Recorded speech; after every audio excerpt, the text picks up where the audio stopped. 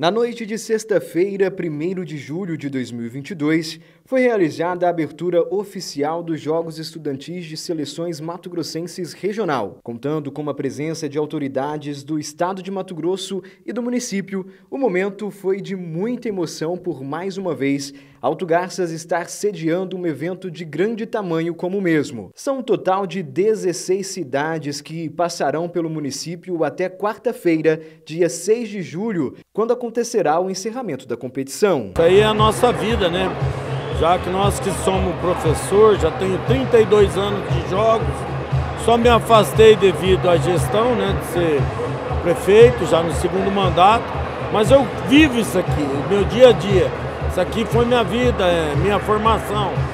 Então hoje é um dia muito feliz para o Alto Garça, já que nós sediamos os últimos jogos de 2019, aí entrou a pandemia, aquela coisa de dois anos, retomou, eu fiz de tudo para trazer os jogos para cá. Então eu quero aqui agradecer ao governador Mauro Mendes, que acredita em Alto Garça, não só no esporte.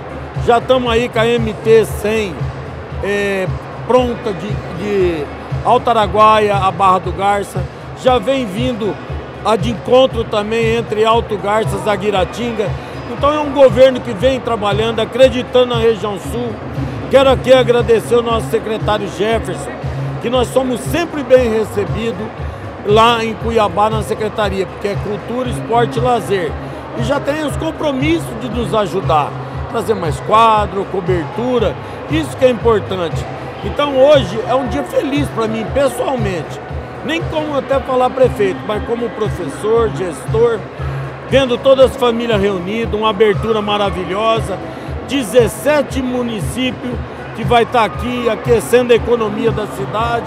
Então é muito importante agradecer mais uma vez ao Jefferson, ao governador Mauro Mendes, a todos os nossos secretários, todos os funcionários que estão tá abraçando esse evento. Um dia de alegria, né? estarmos recebendo 16 municípios, são vários atletas aí no nosso município que vieram né, pra, para esses jogos. E para a gestão, só temos que agradecer, agradecer a Deus, agradecer ao governo do estado, né, ao secretário Jefferson, por sediar esses jogos aqui no nosso município mais uma vez.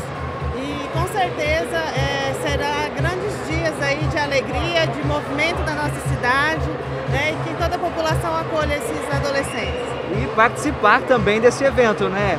Sim, que venham participar, né? Nós teremos jogos aqui no ginásio, lá na quadra do Janari Ribeiro e lá na quadra da Vila Morena. Então venham participar, vamos prestigiá-los, né? Então será sábado e domingo aí durante o dia, tem, entra um pouquinho da noite, segunda e terça e quartas finais.